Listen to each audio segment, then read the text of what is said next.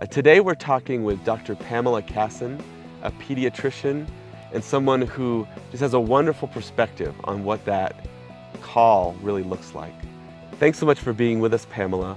Uh, the first question I'd like to ask is, what does it mean for you as a physician, as a pediatrician, to be on call in culture? Well, that's an easy one because I'm a physician. so being on call means that you have to be available with your form of service at any time of day or night, um, and particularly when it's not convenient. And so being on call in culture to me means that we're in God's service and I have to be on call to Him day or night, even when it's not convenient. Now, I'd love to hear the fields and spheres in which God has you on call in culture and share with us a little bit about what those look like. Well, I'm a pediatrician, number one, and so I have to service families and kids. Um, secondly, I think I'm a boss to Sunrise Pediatrics, so I'm a boss and a business owner. So I have to interact with people, um, contractors, my landlord, um, you know, everyone from the telephone company to CPAs and things like that. And then I'm a mom. I have three of my own children um, and a wife and I interact with the school and with sports teams too. So every time I'm watching a game, like my daughter playing soccer, I'm on call in that capacity too. Tell us a little bit about how you picked that field. Um, I think it was just a passion that God gave me. Well, and one of the reasons I loved or I wanted to become a doctor and go into medicine was just I'd like to make people whole. I mean, if I saw someone get hurt, I wanted to make them feel better. I wanted to fix anything broken. If someone was cut, I wanted to patch it up and clean them up. Um, I just loved that. And so I just wanted to be part of that.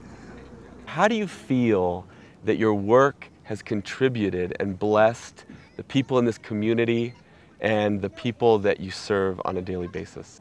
Well, I think when patients come in the office, just treating them with respect and dignity and, and loving them the way you would view Christ love the church is important. Everyone from the smallest child to the most honoring teenager to the delivery guy who comes in the office, um, to our landlord, um, just treating everybody with respect and with the value that you know, you know that Christ loved them enough to die on the cross for them and to give his whole, just everything to them.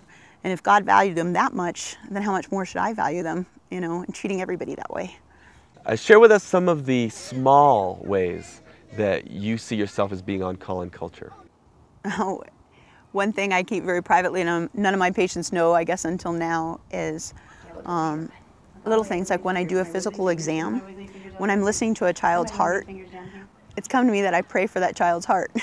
So as I'm listening to the heart, I usually say two prayers to myself, and one is that God would capture that kid's heart and help that heart to grow up to love Him with everything in their being.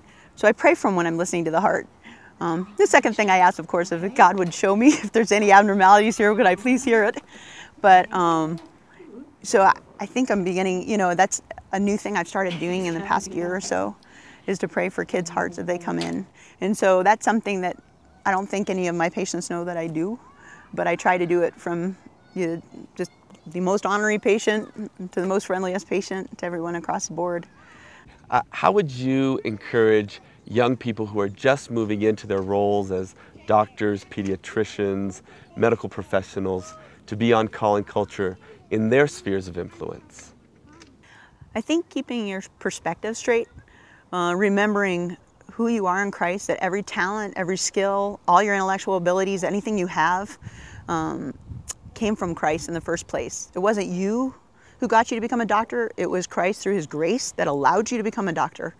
Um, and once you are a doctor, to keep in mind that everybody you come in contact with, everybody, no matter what value society places on them, is incredibly valuable to God.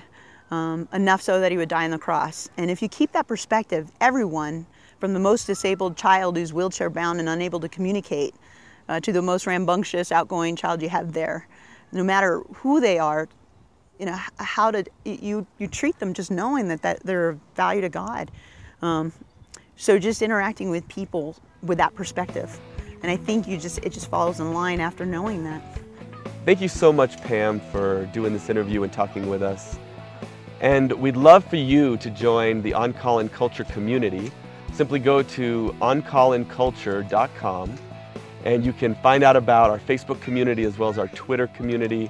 And you can also get the book Wisdom and Wonder that's the foundation for all of this discussion that we're having. Thanks so much.